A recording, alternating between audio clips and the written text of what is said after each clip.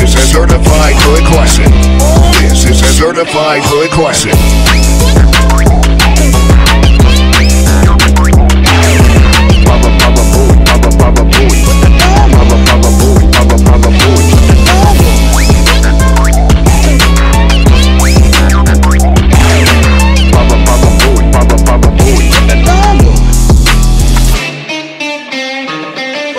y'all doing?